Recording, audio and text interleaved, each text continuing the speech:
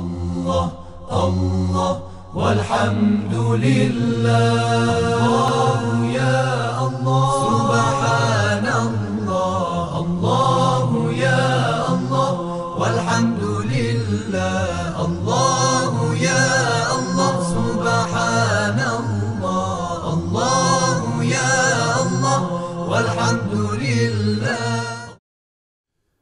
أعوذ بالله من الشيطان الرجيم. بسم الله الرحمن الرحيم. وبه تعالى نستعين.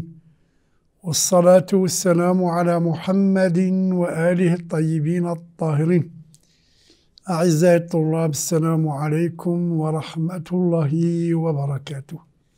ما زلنا معكم في الدليل على وجود العقول ووصلنا إلى تطبيق المتن. ماذا قال؟ المحقق الطوسي قال وقولهم استدارة الحركة توجب الإرادة يعني كون النفس تتحرك بتدوير الفلك الكبير. كل فلك له نفس تحركه إن النفس متعلقة بمادة دائما. فتحرك الفلك حركات دورية حركات وضعية إلى ما لا نهاية. وهذه الحركة ليست طبيعية وليست قصرية فتكون إرادة المستلزمة للتشبه بالكمال تتشبه بالعقل الذي له كمالات التي لا نهائية. نعم إذ طلب الحاصل فعلا أو قوة يوجب الانقطاع. إذا نحن عندنا الكمال لا نطلبه لأن عندنا تحصيل للحاصل فالحركة تنقطع. أو دفعة واحدة نحصل عليه. هذا كذلك إذا حصلنا عليه دفعة واحدة ينقطع. وغير الممكن الشيء الغير ممكن محال فلا يجعلنا نتحرك. نعم لتوقفه على دوام ما أوجبنا انقطاعه. هذا يريد يطبق على المتن تبع معي. إذا عرفت هذا بعدما بينا أن النفس تحرك الفلك حركة وضعية دائرية لا متناهية كلما تحركت انتقلت من نقطة إلى نقطة يعني خرجت من القوة إلى الفعل فتزداد كمالا تزداد كمالا تزداد كمالا. نعم. ثم تنعكس خيرات على ما هو تحت في هذه الأرض. إذا عرفت هذا فنرجع إلى تتبع ألفاظ الكتاب يعني التطبيق. فقوله وقولهم يقرأ بالجبر عطفا على قوله كقوله. جيد. وقوله استدارة الح... استدارة الحركة توجب الإرادة. إشارة إلى ما, ما نقلناه عنهم من أن الحركة المستديرة يعني الوضعية لا, لا تكون إلا إرادية. وقوله المستزمة للتشبه بالكمال إشارة إلى أن الغاية من الحركة ليس كمالا يحصل دفعة ولا يمتنع من الحصول بل هو التشبه الحاصل على التعاقب. نتشبه بالعقل على التعاقب يعني عدم التناهي في الحركة. إذا وصلنا إلى ألف نروح إلى ألف واحد ألف اثنين وهكذا. دواليك ما دام الحركة دائرية الحركة لا تتقف تقف فدائما نقترب من كمال العقل. وهذا هو التشبه. يقول وهو التشبه الحاصل على التعاقب يعني التدرج. قوله إذا إذ إذ طلب الحاصل فعلا أو قوة يوجب الانقطاع إشارة إلى أن ذلك الكمال ليس حاصلا بالفعل لأن إذا كان عندنا الكمال بالفعل لا نطلبه ولا وإلا لا توقفت لوقفت الحركة. نعم ما نتحرك عندنا الكمال. شخص مجتهد تقول له تذهب إلى درس المجتهد الفلاني لا يقبل ماذا لأن عنده الاجتهاد.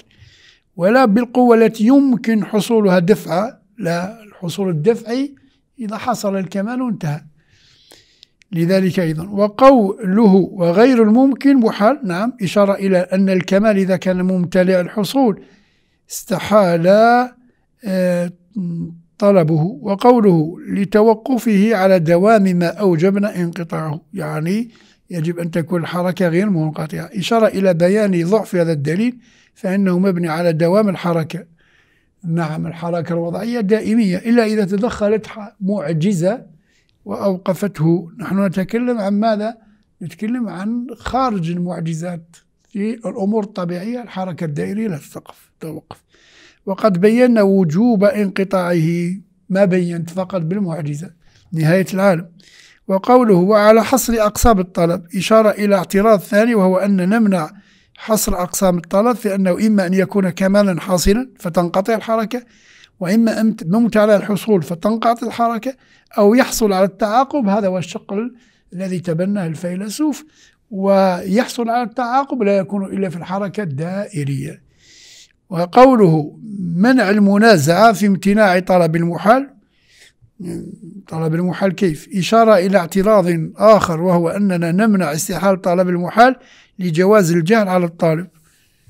ما قال هو المطلوب مجهول قال المطلوب محال سواء وعينا به أم نمنع به. هذا التطبيق نعم قال وقولهم لا علية بين المتضائفين مطلب جديد يعني دليل جديد.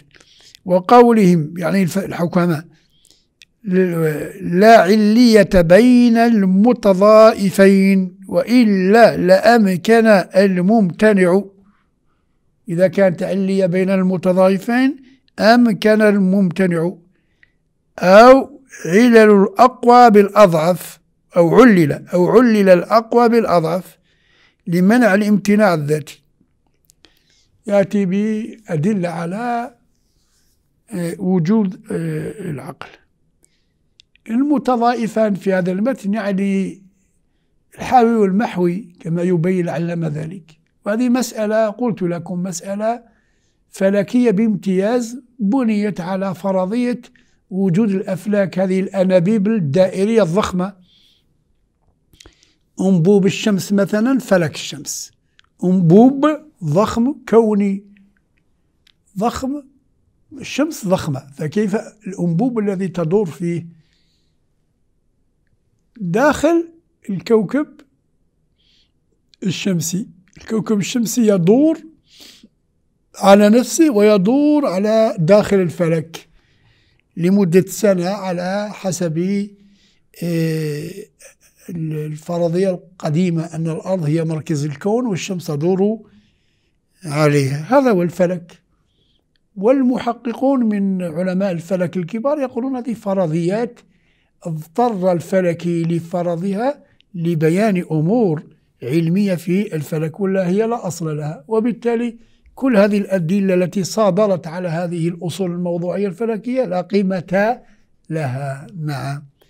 قلت لكم الحاوي في النظام الفلكي في النسق الفلكي في تداخل مساحات هذه الأفلاك يحدث هناك آه، تحدث مساحة تسمى الحاوي في داخلها المحوي كذلك مساحة أخرى في التراتيب الفلكية نعم.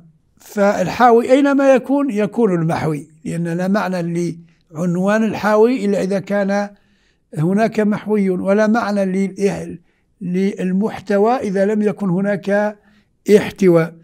الحاوي والمحوي أمور متضايفة يعقلان معا مثل العلية والمعلولية. متضايفان في التعقل. إذا تعقلت العلة فحتما تعقلت المعلول.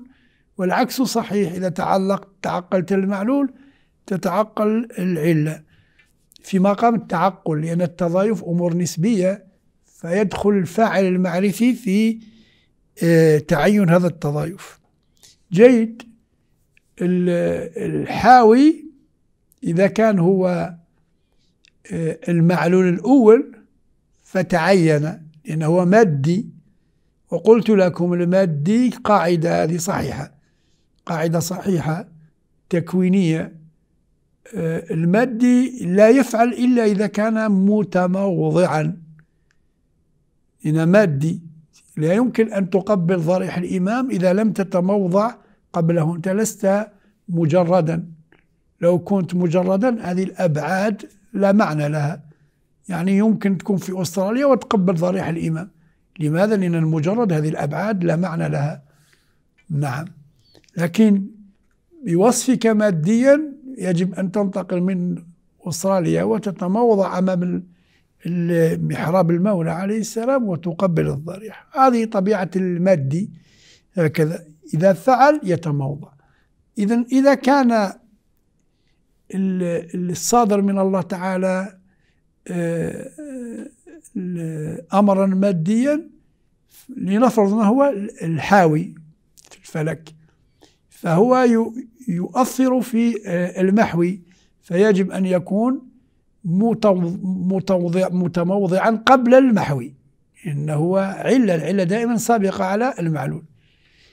إذا تموضع لإيجاد الحاوي أثناء التموضع الحاوي غير موجود فيكون هذا الفراغ الخلاء. والخلاء ممنوع حتى يتموضع فيه المحوي. ولهذا يقول وإلا أمكن الممتنع يعني أمكن الخلاء. لبعض إذا تموضع الحاوي المعلول من الله تعالى المعلول الأول وهو مادي فتأتي النوبة للمحوي قبل المحوي ماذا كان؟ لأنه هو علته. كان هناك الخلاء. يعني كان هناك آه، فضاء جسماني لا جسم فيه وهذا هو الخلاء. أو علل الأقوى بالأضعف. وإذا قلت أن المحوي هو علة للحاوي تعكسها أنت. لا تقول الحاوي هو علة للمحوي فيلزم ماذا؟ أن يكون الأضعف في الوجود علة للأقوى. أقول هذا هو الوجه الثالث وبالتالي لا يكون الجسم وما يتبع الجسم من جسمانيات يعني من أعراض تعرضه هو المعلول الأول. إذا المعلول الأول من؟ المعلول الأول هو أمر غير جسماني مطلقا منزه عن كل حيثيات الجسم ومادة الجسم فهو العقل. أقول هذا الوجه الثالث من الوجوه التي استدلوا يعني استدل به الحكماء على إثبات العقول وتقريره أن نقول. دقق جيدا في التقرير أنه مبني على هذه الفرضية الفلكية الحاوي والمحوي. أن نقول أن الأفلاك ممكنة. نعم ما سوى الله تعالى كله ما سوى الله تعالى ممكن حتى الأفلاك ممكنة نعم.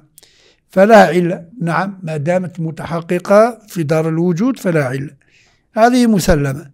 فهي إن كانت غير جسمين ليست جسمية ولا جسماني الجسماني يعني ما يثبت للجسم. يعني بعدما يتعين الجسم تأتيه مواصفات أعراض حيثيات. هذه تسمى الجسماني يعني المنسوب للجسم. نعم. ثبت المطلوب. يعني إذا كانت هذه الأفلاك لا جسمية ولا جسمانية فتكون مجردة. وإن كانت العلة جسمانية لزم الدور. يعني قد يقول قائل حتى العلة تكون جسمانية. نحن نقول الصادر الأول فرضا أنه جسم. نبطل هذه المسألة. إذا كان الصادر الأول يعني المعقول الأول هو الجسم لا يمكن أن تكون العلة جسمية. لماذا؟ لأن نتكلم في الصدر الأول. أول ما خلق الله الجسم فلا يكون آه، العلة جسما. هذه واضحة جدا. وإن كانت العلة جسمانية لزم الدور. لماذا؟ لأن الجسماني متوقف على الجسم. وإن كانت جسما فإما أن يكون الحاوي. هنا دخل إلى الحاوي والمحوي. علة للمحوي أو بالعكس. إذا فرضنا أنه علة وهو مد يجب أن يتموضع قبل الفعل. نعم نعم الفعل معلول له. نعم. وفي باب التعقل لا يعقل إلا معه لكن في العلية لا. خلينا نروح للهامش لنا مسألة رائعة. إذا قلنا النسبة بين العلة والمعمول في التعقل نسبة التضايف لا يعني أن في دار الوجود أن المعلول في مرتبة العلة. لا لا لا المعلول دائما في مرتبة أدنى. له مرتبة أدنى. نعم. فإما أن يكون الحاوي علة للمحوي وهذا هو الصحيح لأن الحاوي أقوى والمحوي أضعف أو بالعكس إذا قلت العكس يعني المحوي علة للحاوي يلزم علية الضعيف للقوي أو الأضعف للأقوى. فهذا بالعكس فرضية مرفوضة. فنقول الحاوي علة للمحوي والثاني محال يعني كون الحا المحوي علة للحاوي يلزم آه، تأثير المعلول في العلة يعني الضعيف في القوي لأن المحوي أضعف من الحاوي. هذا تعليل للمحال. لماذا محال؟ لأن المحوي لأنه داخل في المحوي ويتعين بداخل في الحاوي ويتعين بالحاوي. أضعف من الحاوي. فلو كان المحوي علة لزم تعليل التعليل الأقوى. نعم. يعني تعليل الأقوى يعني الأقوى معلول للأضعاف. الذي هو الحاوي بالأضعاف. الذي هو المحمي وهذا محال. محال محال أن تكون العلة مؤثرة في المعلول مؤثر في علته. والأول الأول ما هو؟ يكون الحاوي علة للمحوي وهذا هو الصحيح. وهو أن يكون الحاوي علة في المحوي. نعم محال أيضا. ها يقول حتى هذا محال. وبيانه يتوقف على مقدمات. دخل في مقدمات إحداها. أن الجسم بينتها لكم لا يفعل إلا إذا تموضع. لأنه مادة أن الجسم لا يكون علة إلا بعد صيرورة شخص معين يعني يتموضع يتشخص ويتموضع. وهو ظاهر هذا بين لأنه إنما يؤثر إذا صار موجودا في الفعل ولا وجود لغير الشخص. نعم عندنا فقط الشخصيات ما عندنا الكليات في الواقع الخارجي هذه المقدمة مقبولة فلسفيا مقبولة. الثانية أن المعلولة يعني المترشح من العلة حال فرض وجود العلة يكون ممكنا. نعم. العلة توجد توجد الممكن لا توجد المستحيل والواجب. نعم. أن المعلول يعني هنا بالتطبيق يعني المحوي. حال فرض وجود العلة يكون ممكنا. أن المحال والواجب لا تتعلق به الإيجاد. وإنما يلحقه الوجوب بعد وجود العلة ووجوب آه، بها. يلحق الوجوب اكتب الوجوب بالغير. يعني إذا اكتملت العلة حتما المعلول يتحقق بالضرورة.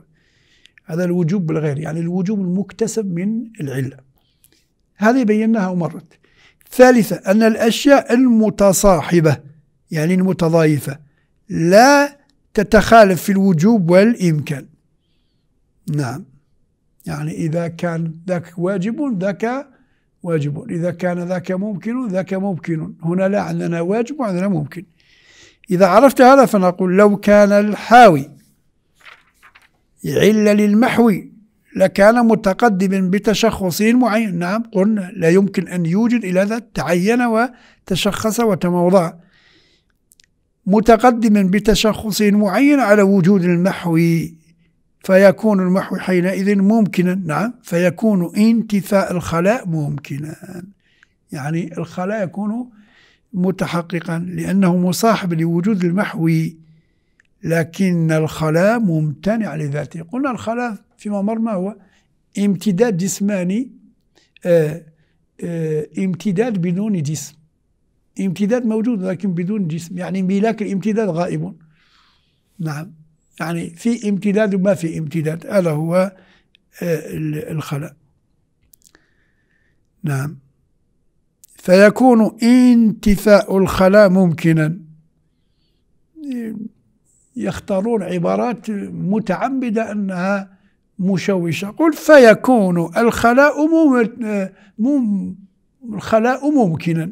لماذا انتفاء الخلاء ممكن؟ يكون الخلاء ممكنا يعني ليس مستحيلا. أو تقول فيكون الخلاء ليس مستحيلا. يكون العبارة أرشق. لأنه مصابح لصاحب مصاحب لوجود المحوي لكن الخلاء ممتنع لذاته. بينت أنا لماذا الخلاء ممتنع؟ يعني في امتداد بدون ملاك الامتداد الذي هو الجسم. نعم. والجواب بعد تسليم امتناع الخلاء لا نسلم كون الامتناع ذاتيا بل الامتناع عرضي. يعني الامتناع ليس في ذاته لعوامل أخرى. إذا عرفت هذا فنرجع إلى تتبع ألفاظ الكتاب فنقول قوله لا علية بين المتضائفين الذي يفهم من هذا الكلام أنه لا علية بين الحاوي والمحوي وسماهما المتضائفين لأنه أخذهما من حيث هما حاوي ومحوي نعم مثل الأب والابن. إذا أخذت الأب باعتبار الابن فلا, فلا يمكن أن يكون لوحده حتما يكون معه الابن. وإذا أخذت الابن كشخص باعتبار البنوة فحتما الأب موجود. هذا هو التضايف. إذا الحاوي باعتباره حاويا لا يمكن أن يكون بدون محوي. والمحوي كذلك لا يكون بدون الحاوي. ولهذا يقول سماهما المتضائفين آه، لأنه أخذه أخذهما من حيث ما هو حاوي ومحوي. طبعا.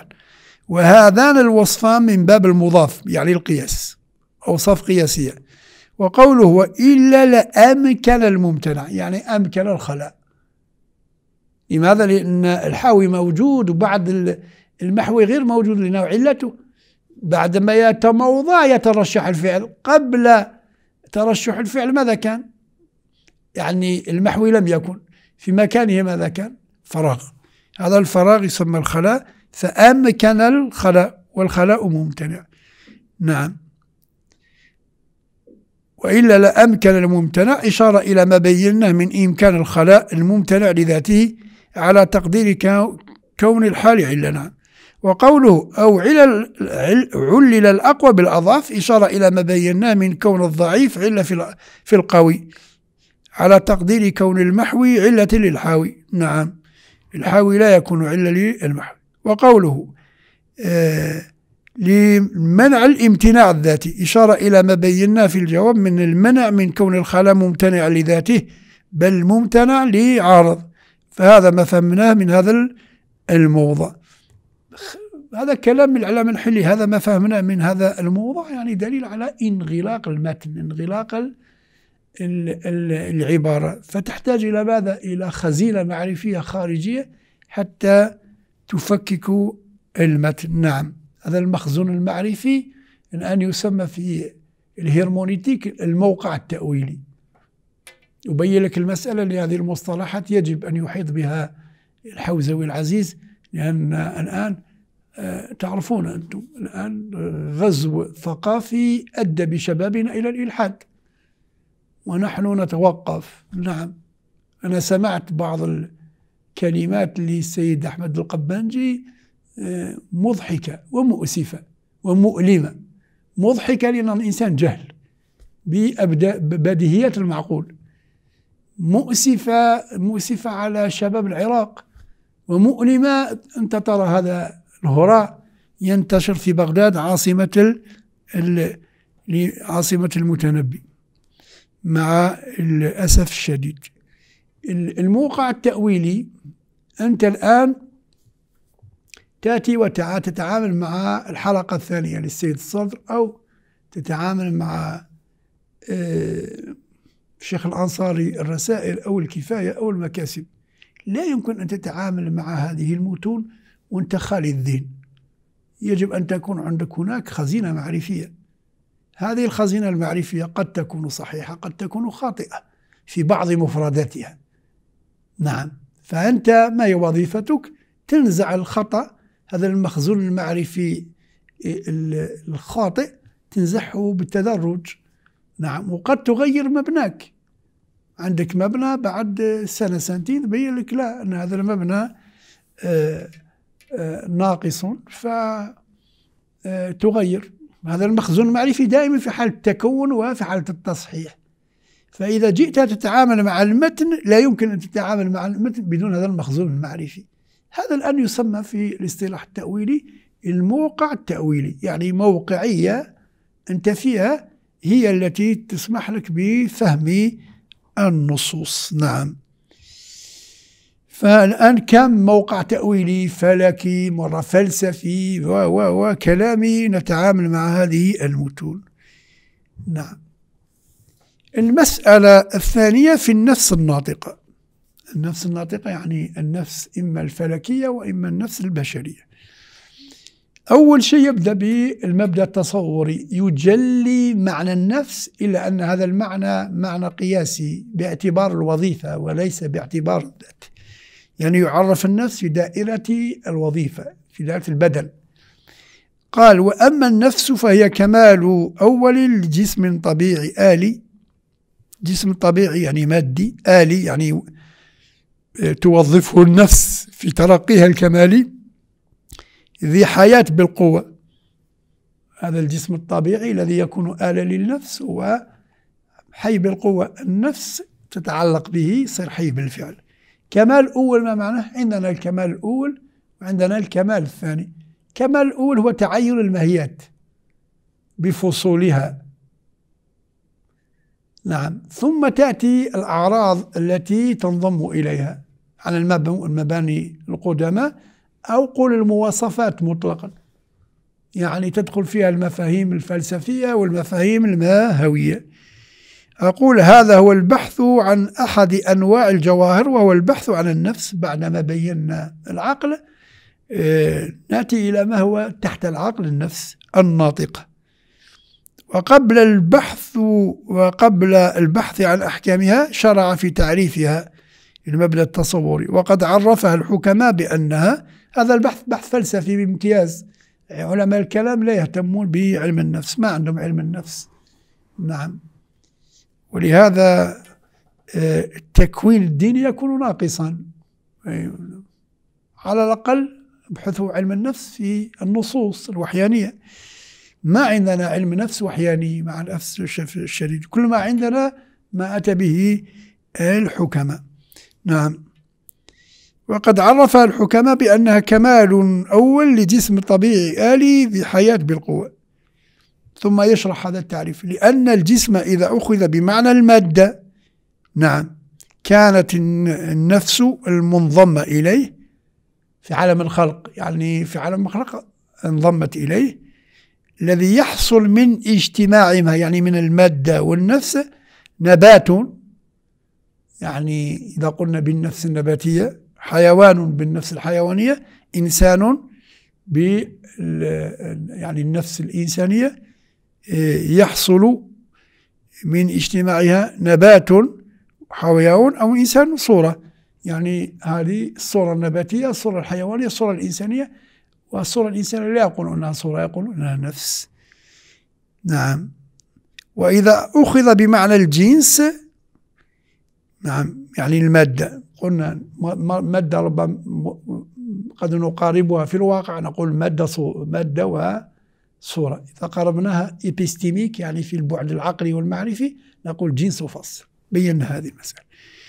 وإذا أخذ بمعنى الجنس ليس المادة كانت كمالا لأن طبيعة الجنس ناقصة قبل الفصل. الفصل الذي يحصل الجنس وقد عرفوا النفس بالكمال دون الصورة لأن الصورة للماديات. لأن النفس الإنسانية غير حالة في البدن. نعم ليست منطبعة حالة يعني منطبعة. كالصورة الحديدية في الحديد لا النفس لها كيان استقلالي وهي مجردة إلا أنها متعلقة بالبدن لها صلة بالبدن. فليست صورة له وهي كمال له. لا لا لا. النفس مجردة متعلقة بالبدن. واعلم أن الكمال منه. يقسم الكمال إلى أولي وثانوي بينتها. وأن واعلم أن الكمال منه أول وهو الذي يتنوع به الشيء كالفصول. الفصول تأتي وتعطي الهويات الفصل الحديدي الفصل الذهبي الفصل الإنساني النفس الناطقة تتعلق, تتعلق بالبدن تنضم إلى البدن تتشكل الهويات الماهيات الذوات الأشياء. ثم تأتي الكمالات الثانية ماذا؟ الأعراض وغير الأعراض. ومنه ثاني وهو ما يعرض للنوع بعد كماله من صفاته اللازمة التي لا تنفك والعارضة التي تأتي وتذهب. مثلا الجلوس الآن كمال ثان ويذهب بعد ساعة أقف. أما كوني قابلا للتعلم لازم لا ينفك. فالنفس من القسم الأولي يعني وهي كمال أولي. الجسم طبيعي غير صناعي كالسرير وغيره. كالسرير هذا تعريف للصناعي. وليست كمالا لكل طبيعي حتى البصائر بل هي كمال لجسم طبيعي آلي تصدر عنه أفعاله بواسطة الآلات. يعني الإنسان عنده القوة الباصرة عنده القوة السامعة القوة التي تذوق واللامسة الذائقة واللامسة هذه كلها عند المشاة قوة مادية والنفس توظفها.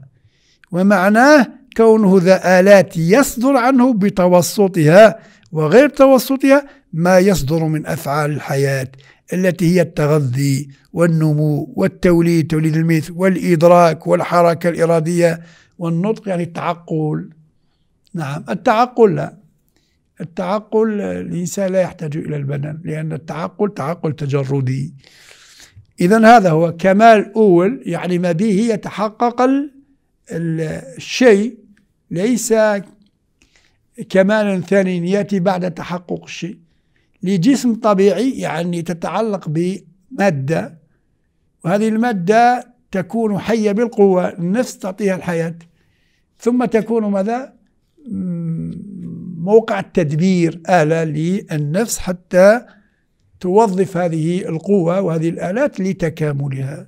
نعم. إذا هذا تعريف بماذا؟ تعريف ب بالوظيفة تعريف قياسي وليس تعريف في صميم النفس بما هي نفس. نعم. كمال أول بيناه لإخراج الكمال الثاني يعني ما به هوية الشيء لجسم طبيعي يعني تتعلق بجسم مادي آلي يعني هو آلة لها. فهذا تعلق تدبيري. نعم ليست ليس انطباعيا كالصورة الحديدية أو الصورة الذهبية. ذي حياة بالقوة يعني هذا الجسم حياة بالقوة يعني قبل تعلق النفس به وميت ويعني في حكم لا شيء. ثم يحيا بتعلق النفس بها. نعم. المسألة الثانية في أن النفس يأتي إن شاء الله. اللهم صل على محمد وآل محمد. اللهم صل على محمد وآل محمد. اللهم صل على محمد وآل محمد. اللهم صل على محمد وآل محمد.